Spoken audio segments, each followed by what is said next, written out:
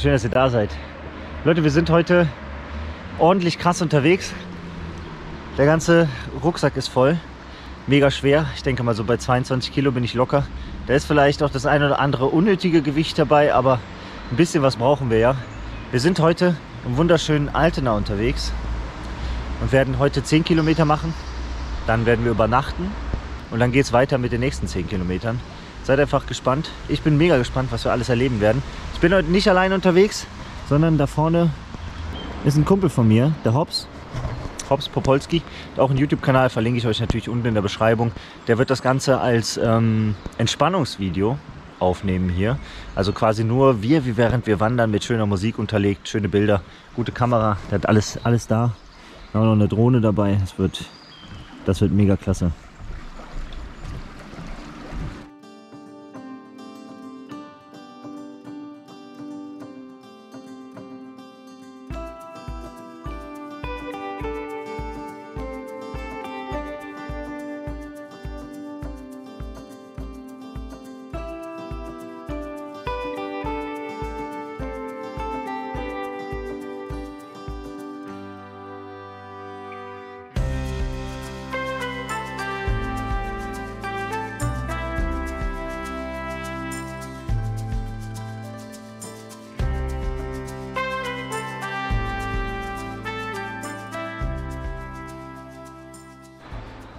Die ersten Höhenmeter haben wir mittlerweile hinter uns.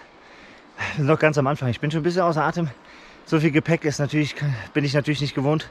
Hier können wir mal live miterleben, wie aufwendig Hobbs Popolskis Produktionen in Wirklichkeit sind, weil die Kamera immer wieder eingesammelt werden muss, nachdem wir an ihr vorbeigelaufen sind. Das ist gar nicht so wenig. Die rote Mütze ist übrigens zur Orientierung da. So kann man das Ganze leichter erkennen, auch in der Ferne und in der Natur selber.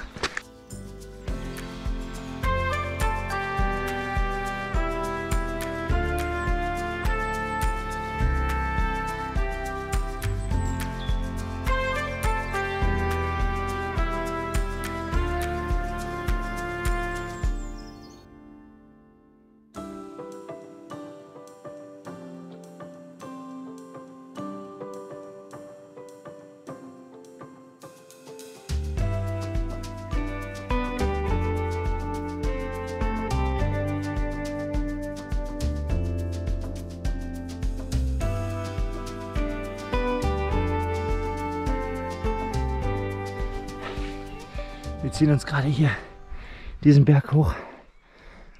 Das ist ganz schön anstrengend, sage ich euch. Leute, zieht euch das mal rein. Da geht es einfach runter. Einfach so. Hier ist der Weg, ganz normal. Und da ist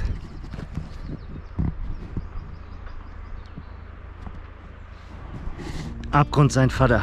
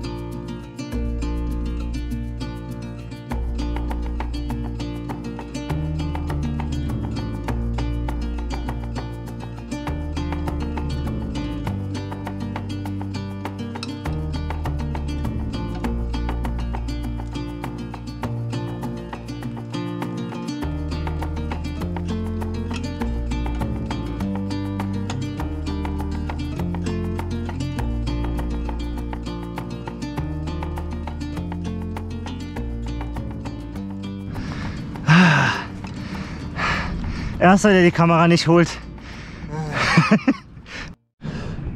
da unten, da wo die Häuser sind, da sind wir gestartet, sind quasi in die Richtung über diese Bergkette und dann jetzt hier über diesen verschlungenen Pfad hier rüber. Das Ganze ist nicht mehr nur noch Wandern. Ich finde, das geht schon ein bisschen, bisschen ins Klettern. Das hier ist übrigens ein Gipfelkreuz. Das erste jetzt auf unserer Tour.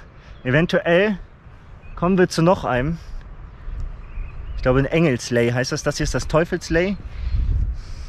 Super cool. Ich glaube nur Scheiß. Leute, das war voll anstrengend und ich hatte auch ein bisschen das Gefühl, dass es etwas gefährlich war.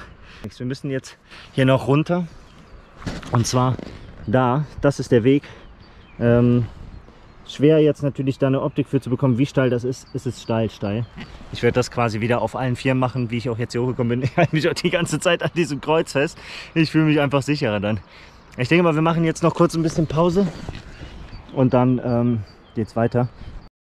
So, weil der Hobbs eben ähm, so nett war, mich zu filmen, während ich meinen Rucksack anziehe, kriegt ihr jetzt einmal, einmal, einmal gezeigt, wie schön der Hobbs denn dabei aussieht, wenn er seinen Rucksack anzieht.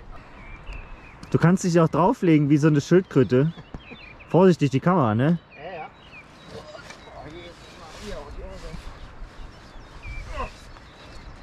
Hops. Hops. Und hops. Nee, nee, mit Schwung nicht, sonst fliege ich hier runter.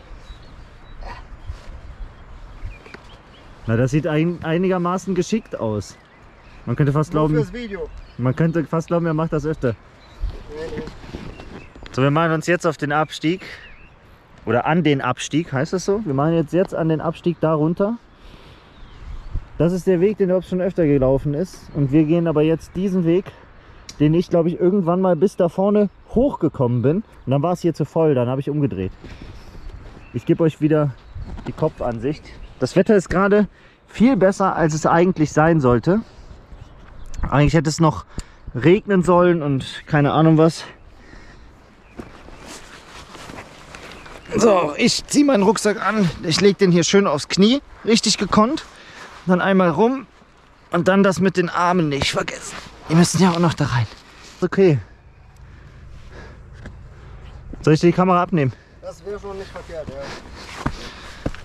Kommen wir schon dran?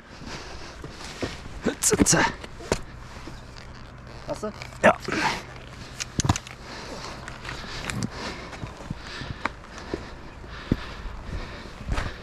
festhalten kann, das ist echt nicht verkehrt. Ja, dann geht's, ne?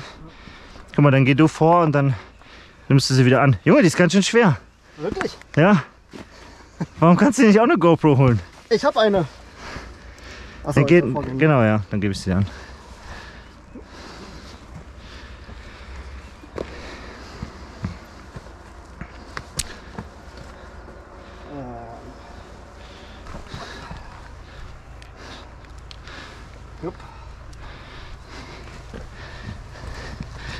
Ne, machen wir wieder rückwärts. Rückwärts fliegt man wenigstens ordentlich auf die Fresse, wenn man runterfällt.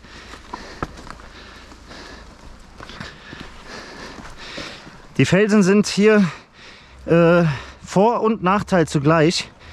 Wenn man hier einen hat, der einen richtig festkrallt, dann ist es gut. Wenn man allerdings einen erwischt, der genau in Laufrichtung ist, ist das äh, ziemlich rutschig. Das kann dann auch ein extremer Nachteil sein. Zum Glück ist hier einiges an Vegetation noch vorhanden. Boah, Junge. Zum Glück ist hier noch einiges an Vegetation vorhanden. Da kann man sich auch noch mal ein bisschen dran festhalten. Also jeder, ich wette mit dir, beinahe jeder würde sagen, dass wir total bescheuert sind, das mit so schweren Rucksäcken zu machen. Gib her. Also ich habe mit meinem Rucksack, würde ich sagen, an die 100 Kilo. Ja. Was? Ich habe so 15 mehr.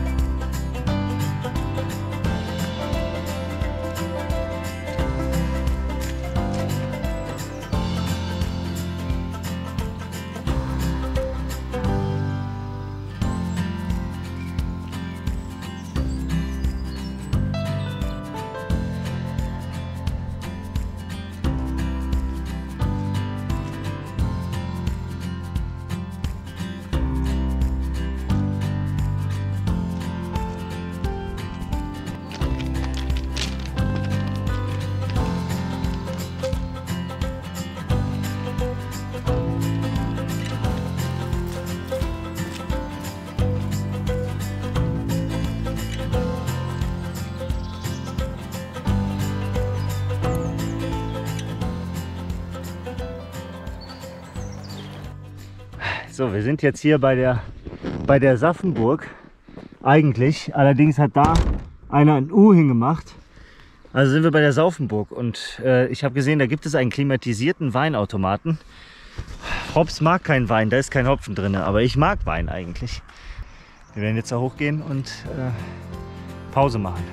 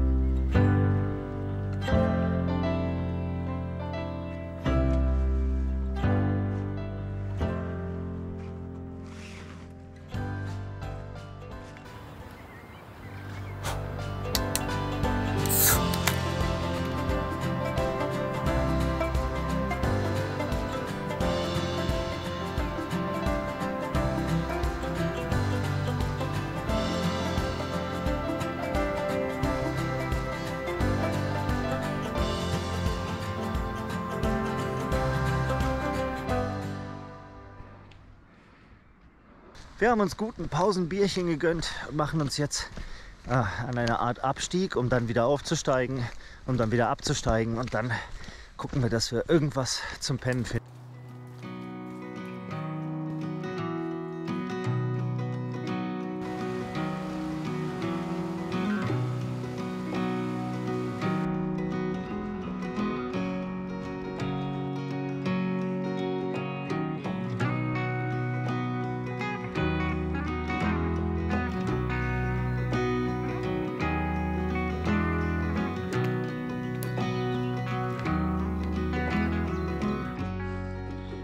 Ein bisschen auf dem Laufenden zu halten. Da oben waren wir eben für die Drohnenaufnahmen. Super, wie das gerade hier mit dem Himmel aufreißt und so. Und jetzt sind wir diesen Weinberg hier hochgelaufen und machen das jetzt noch weiter. Wir haben, glaube ich, jetzt noch mal eine Stunde später oder so. Ganz schön anstrengend, hier berghoch zu kraxeln. So langsam werde ich auch hungrig und äh, Erschöpfung macht sich breit. Kann man jetzt nicht mehr, das kann man jetzt nicht mehr verleugnen. Egal wie hart man tun will, so langsam macht sich Erschöpfung breit. Erschöpfung? Äh, was ist Erschöpfung? Hab ich noch nie gehört. Deine Mutter ist erschöpft. Warte mal, warte, warte, warte, warte. Ich weiß, dass es nicht unser Weg ist. Aber Ich werde die Kamera hier hinstellen in Richtung Burg und wir laufen da einmal vorbei. sorry Leute, ich bin äh, mal wieder gebucht. Ich muss jetzt hier am Set mal wieder ein bisschen acten. Also.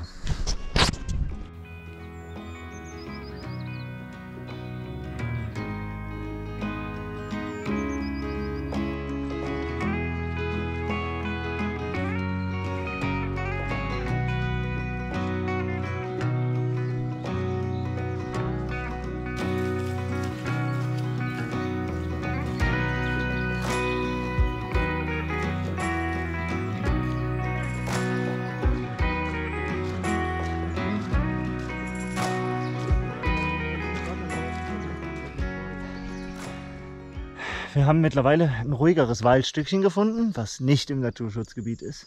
Allerdings ist es voll mit Hochsitzen. Alles voll. Da in Sichtkontakt einer, da noch einer und da oben noch einer. Also falls irgendwer da ist, der mir erklären kann, warum man so viel Holz hier hochschleppt, um verkackte Hochsitze zu bauen, der darf mir das gerne erklären. Also Rehe zählen kann man auch mit einem Hochsitz theoretisch oder ich weiß es nicht. Hier war auf jeden Fall jemand kacken. Da. Hops war es nicht. Wir werden jetzt doch noch weiter hochlaufen, denke ich, oder? Und gucken, dass wir da noch was finden. Wir haben mittlerweile 19 Uhr, so langsam wird es Zeit. Wow, ich habe nach mehreren Stunden mal den Rucksack aus. Und ich sage euch, ah, das ist ein Gefühl von Leichtigkeit. Schau mal, wir haben da hinten diese Hütte im Wald entdeckt. So eine alte ähm, Schaukel, die noch dabei hängt. Eine blaue Bank und sowas. Auf einer kleinen Lichtung. Wir sind uns jetzt nicht ganz sicher, ob wir das einfach benutzen dürfen, um dort zu übernachten. Wir sind nicht im Naturschutzgebiet, ist eigentlich alles gut. Ähm, kann natürlich trotzdem sein, dass es äh, jemandem gehört, dem das nicht gefällt, wenn wir dort übernachten. Allerdings hätten wir hier auch noch die Möglichkeit, also hier, die Stelle hier ist auch gut. ist allerdings jetzt auch nicht so weit weg davon. Von daher wird das ja wahrscheinlich nicht so viel ausmachen. Gesehen, dort unten ähm, geht ein Weg lang. Der geht auch hier an dem Grundstück direkt vorbei. Das heißt, sollte jemand kommen, sieht er uns direkt ganz offensichtlich. Und es wirkt nicht so, als wenn wir irgendwas Verbotenes tun wollen würden.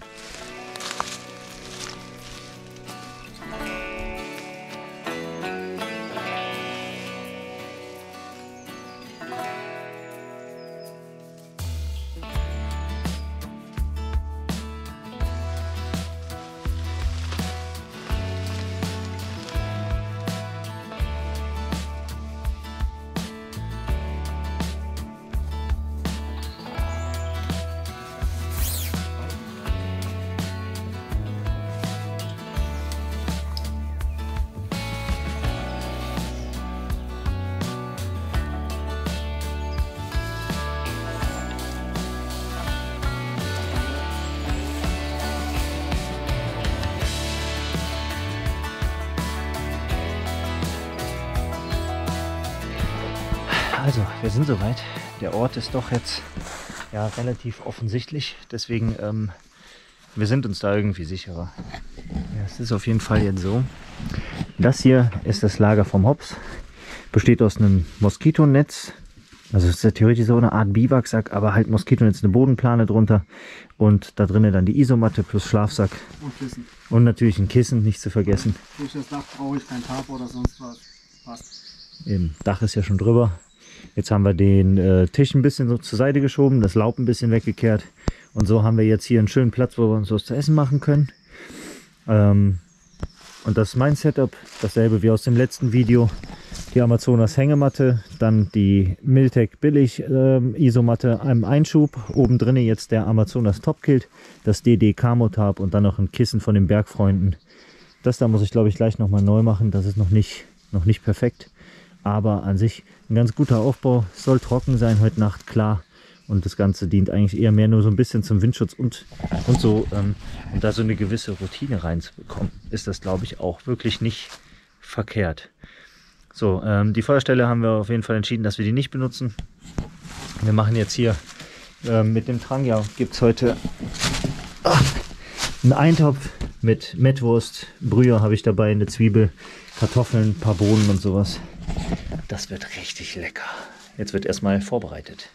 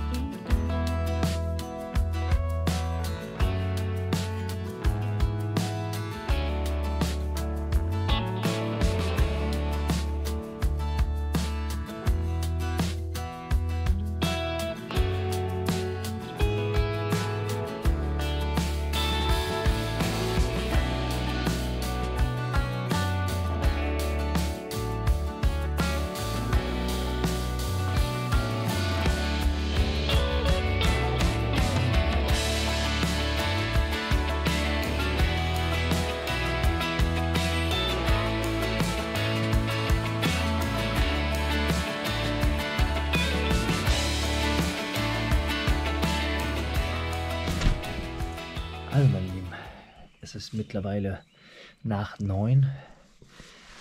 Wir sitzen jetzt hier noch gemütlich am Tisch, den wir praktischerweise ja hier haben, was schon ganz schöner Luxus ist und quasi von dieser Bushcraft-Erfahrung ein bisschen weg ist. Ganz schön dunkel. Es wird auch wirklich kalt, muss ich sagen. Also wir haben beide sehr kalte Hände und keiner von uns hat Handschuhe mitgenommen, weil wir dachten uns, ach, Handschuhe, wofür? Es soll ja nicht so kalt werden. Aber hier oben auf dem Berg, diesem monströsen Berg hier, auf dem wir uns befinden, ist es doch schon ganz schön frech jetzt hier zum Ende. Na gut, ich würde sagen, ich melde mich vielleicht nochmal aus der Koje, aber ansonsten wünsche ich euch eine gute Nacht.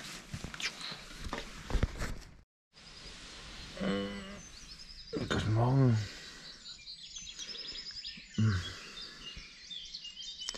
Wir haben jetzt 6.15 Uhr. Die Vögel sind übelst laut. Die haben quasi pünktlich um 6 ihr Konzert gestartet. Es ist gerade irgendwie Boah, die kälteste Zeit des Tages. Ich will gar nicht aufstehen, ey. Es war sowieso heute Nacht zwischendurch mal wirklich kalt. Oder, Hobbs? Ja. Oh. Hier ziehen Nebelschwaden durch den Wald. Und ich habe das Gefühl, irgendwie ist alles feucht. Aber ich stehe jetzt erstmal auf. Raus. Morgensport oder sowas. Keine Ahnung. Ja, das ist ein Halstuch, was ich auf dem Kopf trage. Ich Idiot habe meine Mütze vergessen. Äh, wir haben jetzt erstmal alles gepackt und machen es jetzt von diesem Berg runter und gucken, ob wir einen geilen Spot finden, wo es sich richtig gut lohnt, sich einen Kaffee zu machen. Rucksack ist wieder proppe voll. Obwohl wir gestern mehrere Dinge verbraucht haben, habe ich den jetzt anscheinend so schlecht gepackt, dass er irgendwie voller ist als gestern, als ich ankam. Dabei habe ich hier definitiv nichts mitgenommen. Versprochen. Da habe ich geschlafen. Sieht man jetzt nichts mehr von, ne? Aber genau so war der Plan.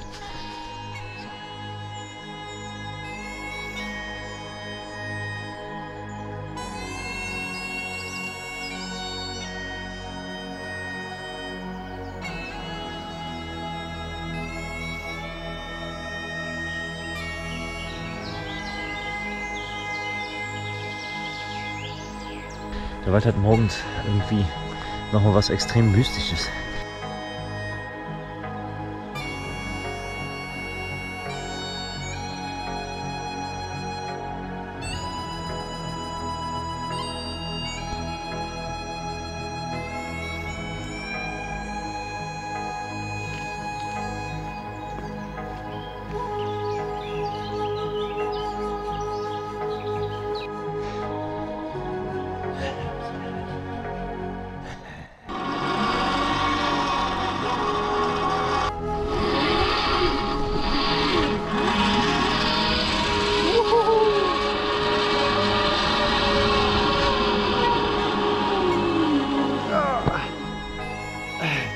Nicht dafür ausgelegt mit so einem schweren Rucksack.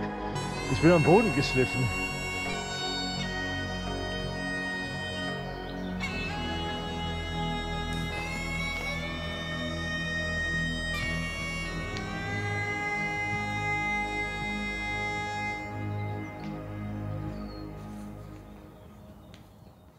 Also Leute, wir haben den perfekten Ort mit der perfekten Aussicht für unser Frühstück entdeckt. Schaut mal.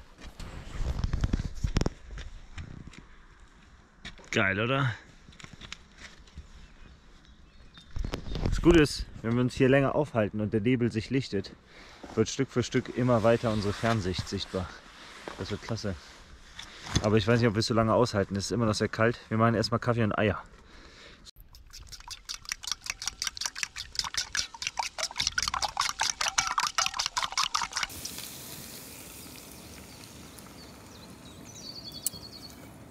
So, Rühr ist fertig.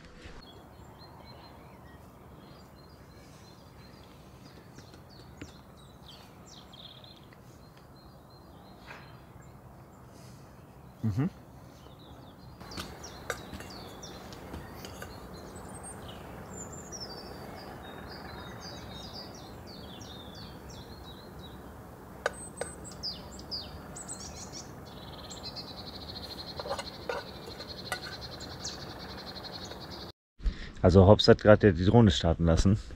Und soll ich euch mal was Geiles zeigen.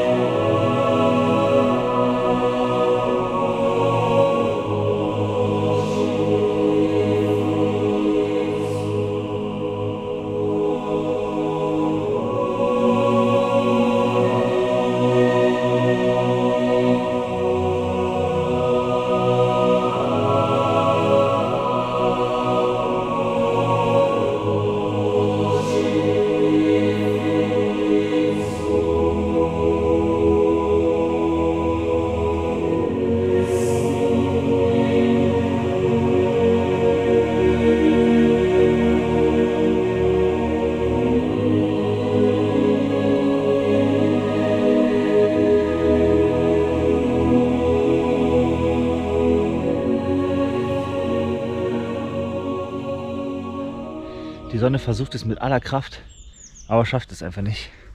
Da oben, man sieht sie quasi schon, Hier hinter mir, die Bäume sind so ganz leicht im Nebel versunken. Und auch die schaffen es nicht, sichtbar zu werden. Wir sind jetzt quasi wieder auf einem Bergkamm und äh, versuchen euch noch ein paar geile Ausblicke klar zu machen, wenn das Wetter dann endlich besser wird und die Sonne sich mal ein bisschen Mühe gibt, diesen leichten Dunstschleier hier mal zu besiegen. Allzu hoch ist er ja nicht. Es fetzt immer mal wieder ein ganz klein bisschen, ganz klein bisschen blauer Himmel durch. Also man, ich denke mal, es wird nicht mehr allzu lange dauern. Hobbs muss gerade die Kamera holen. Es ist, wir sind super weit gelaufen, super weit weg von der Kamera. Ich hoffe, sie ist noch da. Aber hier ist so wenig los, quasi gar nichts. Wir haben in der ganzen Zeit, die wir jetzt unterwegs sind, und das sind jetzt, glaube ich, gut 12, 13 Kilometer insgesamt gestern und heute, haben wir noch nicht eine einzige Person gesehen, bis auf die Leute an der Burg, die da Wein getrunken haben. Aber das ist natürlich so ein Spot, wo es irgendwie logisch ist, dass da mehr Leute sind, weil da viele halt nur hinfahren, um zu diesem Spot zu kommen. Hier auf den Wegen noch niemanden gesehen.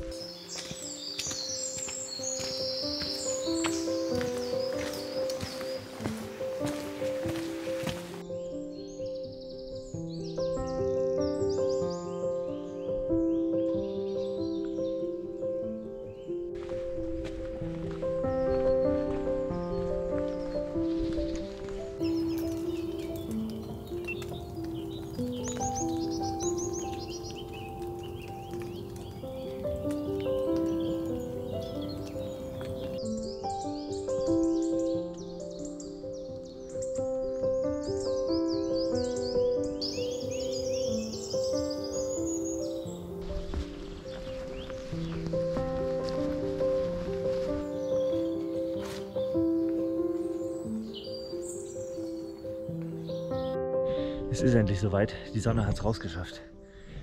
Ah, herrlich. Man merkt es direkt auf, auf der Haut, wie es warm wird. Und ich habe hier das hier entdeckt. Das ist doch, ist das Bushcraft oder kann das weg? Der Tag wird anscheinend ziemlich gut, muss ich sagen. Heute sollen es 17 Grad werden. Wir haben beide noch komplett Thermounterwäsche an, die wir dann wohl irgendwann ausziehen müssen. Dabei sind wir ja theoretisch nur auf dem Weg zum Auto. Vielleicht wird es nicht nötig sein. Vielleicht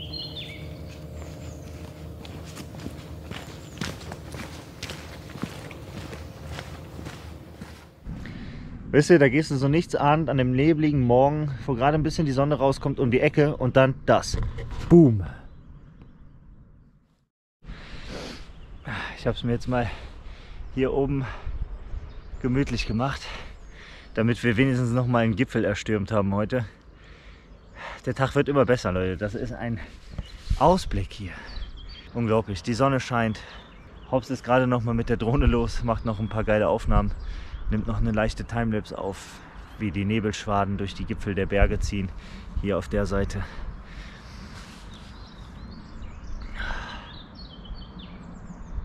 Ich bin äh, glücklich heute, richtig glücklich. In der Natur aufwachen, dann durch die Natur spazieren, wandern, zu sehen, wie der Tag erwacht, wie alles anfängt zu blühen. Die Blumen gehen auf morgens früh, die Sonne kommt raus, der Nebel verzieht sich. Dann kommst du hier um diese Ecke. Also ich für meinen Teil nichts ahnend hier rum. Und dann geht es hier auf einmal und dieses Tal öffnet sich uns und ähm, es knallt hier diese Aussicht raus. Das ist einfach, einfach krank übertrieben. da hat jemand Spaß mit seinem neuen Spielzeug. Ich zeige euch jetzt nochmal, wo ich hier stehe. Schaut mal, das hier da geht es ganz schön steil runter. Aber da seht ihr meinen Schatten. Sieht er nicht irgendwie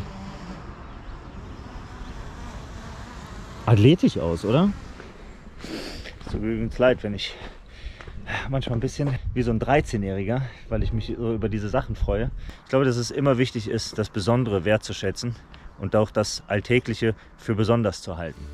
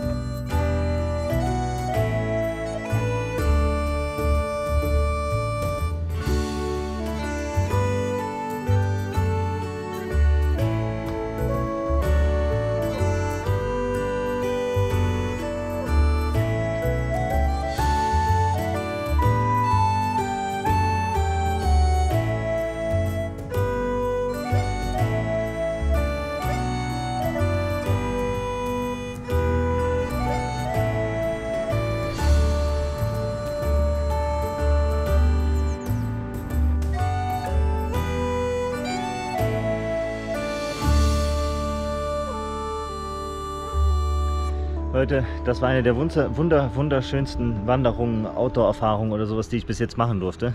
Das war richtig, richtig schön. Das hat unwahrscheinlich gut getan.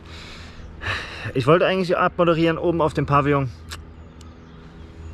Ist besetzt. Und ich bin ja schüchtern, deswegen machen wir das jetzt hier. Ich habe eine wunderbare Aussicht aufs Teufels, äh, Teufelsloch. Ich weiß nicht, ob man das sieht. Das befindet sich dort oben. Da ist das Teufelsloch. Da war ich schon mal mit, äh, mit Tammy und ihrer Mama und sowas. Ähm, auch ein sehr interessanter Aufstieg. Gar nicht mal so einfach. Nicht für Spaziergänger auf jeden Fall. Es war jetzt die Tage super interessant. Ich habe schon ganz viel geredet. Ich habe euch dabei gehabt. Ich habe eigentlich immer wieder alles gesagt. Es gibt gar nicht so viel, was ich jetzt am Ende sagen kann. Außer, dass sich das mega gelohnt hat. Ob das jetzt das Frieren war oder die Anstrengung mit so einem vollen Rucksack oder sonst irgendwas. Ich fühle mich fit und ausgeruht und alles. Also ich bin, keine Ahnung, ich merke die Strapazen der letzten 24 Stunden überhaupt gar nicht. Wir machen uns jetzt gleich an den Abstieg. Da müssen wir gucken, dass wir Geld zusammenkratzen für, den, äh, für die Parkdingens, sonst müssen wir nämlich noch zur Bank laufen. Und ähm, das war's dann. Ich bedanke mich für eure Zeit, dass ihr hier seid, dass ihr da sein wollt, dass ihr hoffentlich allen Bescheid sagt, die ihr kennt, um denen zu sagen, was das für ein mega krasses Video war, das ihr jetzt gerade gesehen habt, mit so viel atemberaubend schönen Dingen. Das ist. Ich sage ja, ich bin, ich bin ein, bisschen, ein bisschen Banane, weil ich nicht die Worte habe, die ich gerne hätte, um auszudrücken, wie toll das für mich war. Macht's gut, Leute. Wir sehen uns im nächsten Video. Vergesst nicht, Hops, Hops Popolskis Kanal zu abonnieren. Äh, den Link findet ihr natürlich in der Videobeschreibung. Abonnieren nicht vergessen, macht die Glocke an. Bisschen Support für den Hops. Äh, das sind auch tolle Videos bei, also technisch einwandfrei, super gute Qualität und alles. Sehr entspannt. Zieht euch rein. Macht's gut, Leute.